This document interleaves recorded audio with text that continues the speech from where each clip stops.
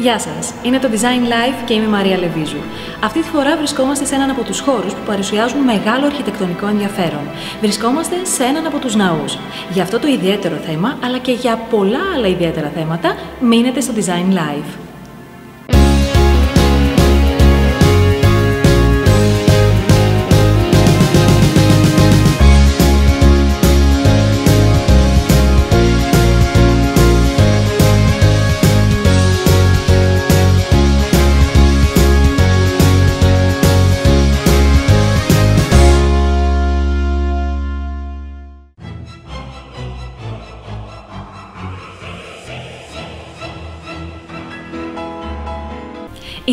Πέρα από θρησκευτικούς χώρους αποτελούν και αρχιτεκτονήματα με μεγάλο ενδιαφέρον. Αναπόσπαστα κομμάτια της οικιστικής δομής μιας πόλης. Η ναοδομία είναι ένα μεγάλο και ιδιαίτερο κομμάτι. Ενδιαφέρον θα είχε να τη δούμε ως παρατηρητές και όχι ως αναλυτές μέσα από το Design Live. Να δούμε δηλαδή την πορεία των ναών και της αρχιτεκτονικής στο πέρασμα των αιώνων. Η λέξη ναός προέρχεται από το αρχαιοελληνικό ρήμα νέο, που σημαίνει κατοικό. Όλες οι θρησκείες από την αρχαιότητα μέχρι σήμερα είναι στενά συνυφασμένες με την έννοια και την παρουσία του ναού, ο οποίος διαδραματίζει έναν πολύ σπουδαίο ρόλο στη λειτουργία τους. Η καλλιέπεια και η σπουδαία τέχνη της ναοδομίας, η οποία καλλιεργήθηκε σε όλες τις εποχές, μαρτυρεί αυτή την αλήθεια. Τα σπουδαιότερα κτηριακά μνημεία της ανθρωπότητας από την αρχαιότητα μέχρι σήμερα είναι κατά κανόνα ναοί. Χαρακτηριστικά παραδείγματα, ο Παρθενώνας των Αθηνών,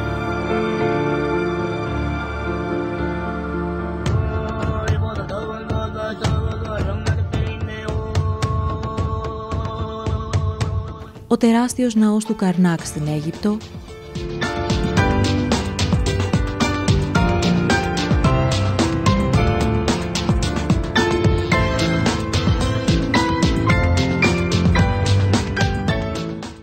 ο ναός του Stonehenge της Σκοτίας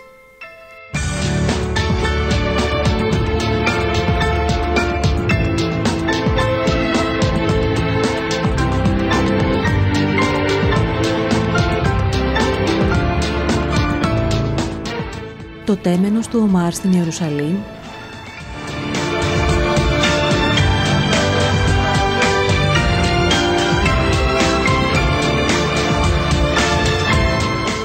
η Κολοσιαίοι Ινδουιστική Ναή,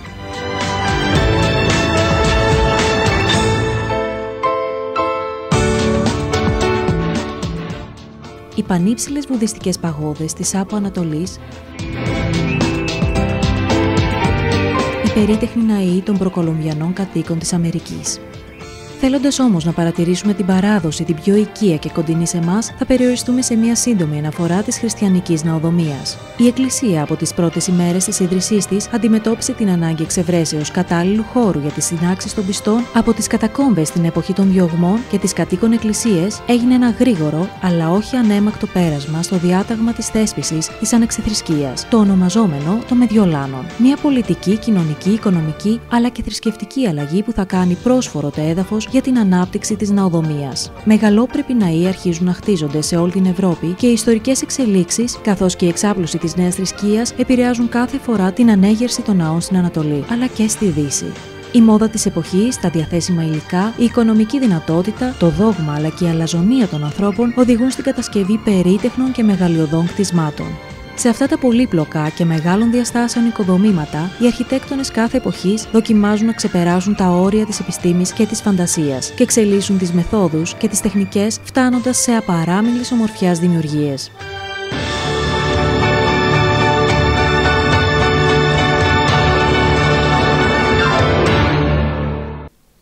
Και φτάνουμε με αυτόν τον τρόπο σε μια κρίσιμη ιστορική καμπή, σημαντική και για την ναοδομία, τη βιομηχανική επανάσταση και το μοντερνισμό. Οι συνηθισμένες φόρμες των ναών αντικαθίστανται από δημιουργίες των μοντερνιστών αρχιτεκτόνων στη Δύση, όπως ο Λεκορμπιζιέ και ο Γκαουντί.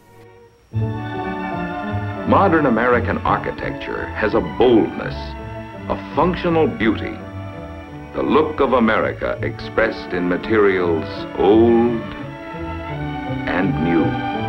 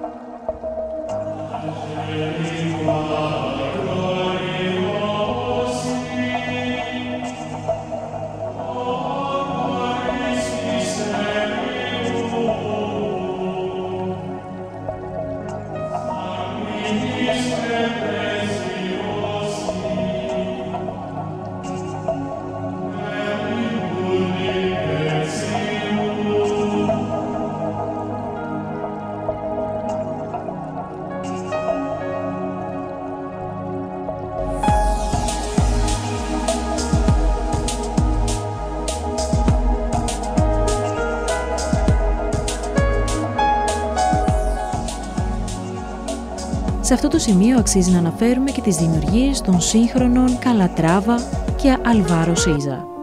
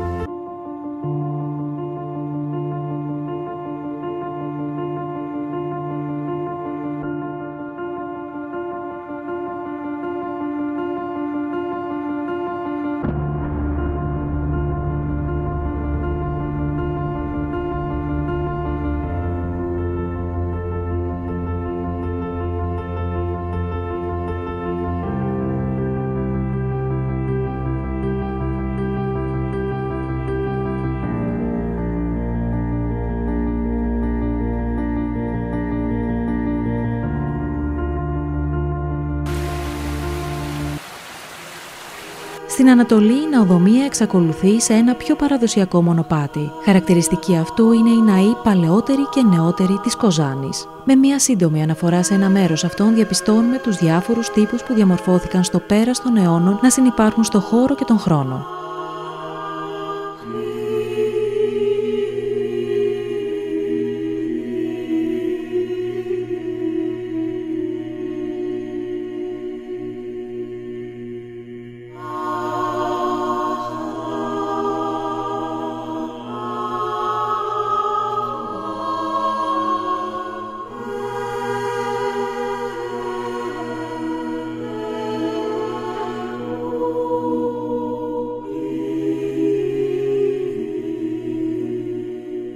Ο ναός του Αγίου Νικολάου ανήκει στον περίφημο τύπο της παλαιοχριστιανικής βασιλικής.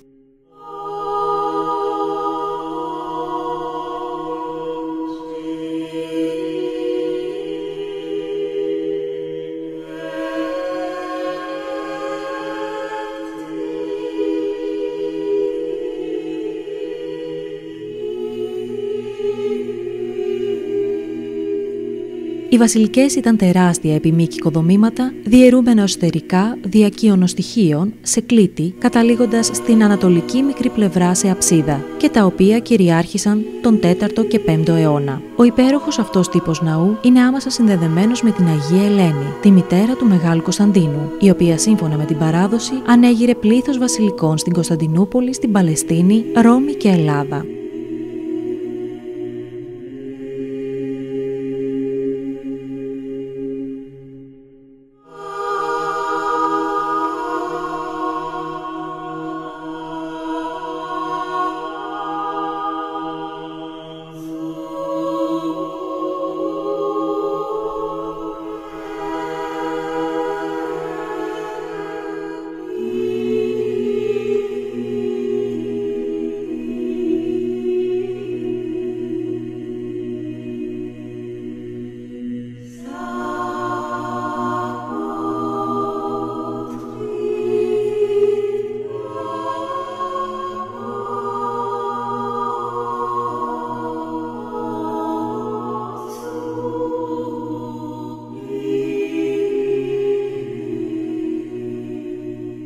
Ο τύπος και η ονομασία της Βασιλικής παραλήφθηκε από τους ειδωλολάτρες Ρωμαίους και συγκεκριμένα από τον διαδεδομένο τύπο των μεγάλων δημόσιων πολύστηλων οικοδομημάτων των Ρωμαϊκών αγορών, τα οποία χρησιμεύαν για εμπορικές συναλλαγές και δικαστήρια. Οι Ρωμαίοι είχαν παραλάβει αυτόν τον κτηριακό τύπο με τη σειρά τους από τους Έλληνες. Τέτοιο κτίριο ήταν η Βασίλειο στο Α των Αθηνών, η οποία ονοματίστηκε έτσι προς τιμή του Άρχοντος Βασιλέως. Από αυτόν πήρε και το όνομα Βασιλική.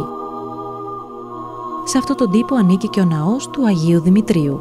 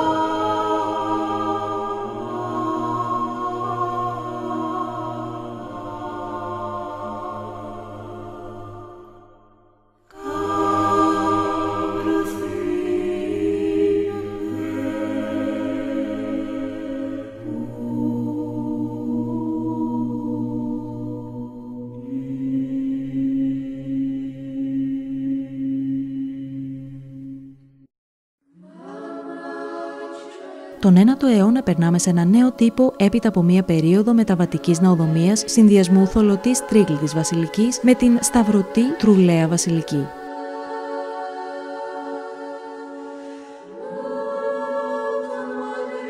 Ο νέος αυτός τύπος ναού εμφανίζεται στην Κωνσταντινούπολη και αργότερα σε ολόκληρο το βυζαντινό κόσμο και ονομάζεται εγγεγραμμένος σταυροειδής με τρούλο. Από τότε μέχρι και σήμερα αυτός ο τύπος παραμένει ο ίδιος.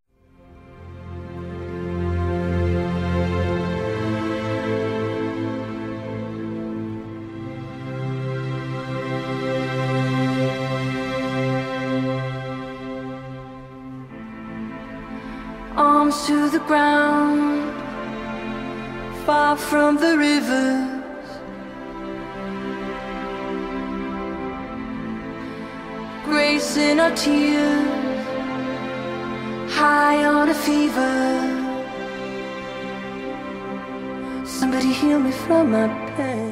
Ο εγγεγραμμένος σταυροειδής με τρούλο είναι ο αντιπροσωπευτικός βυζαντινός ρυθμός. Κύριο χαρακτηριστικό στοιχείο αυτού του θαυμαστού ρυθμού είναι ο σχηματισμός σταυρού εσωτερικά και εξωτερικά στο σχεδόν τετράγωνο πια κτίσμα, με τον ένα ή τους πέντε τρούλους. Η δημιουργία κογχών στη βόρεια και νότια πλευρά όχι μόνο αυξάνουν τον εσωτερικό χώρο, αλλά χαρίζουν παράλληλο μορφιά και χάρη.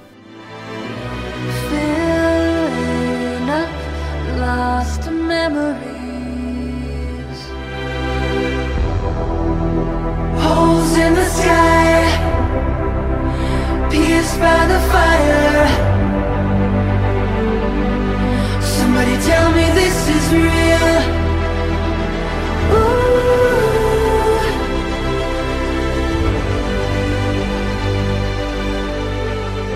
Με αυτόν τον τρόπο μία μακραίωνη παράδοση φτάνει έως σήμερα και βρίσκει έκφραση σε ναούς που θεμελιώνονται στο τώρα, κουβαλώντας τη γνώση του παρελθόντος, αλλά και με τις προϋποθέσεις να αποτελέσουν τα μνημεία του μέλλοντος.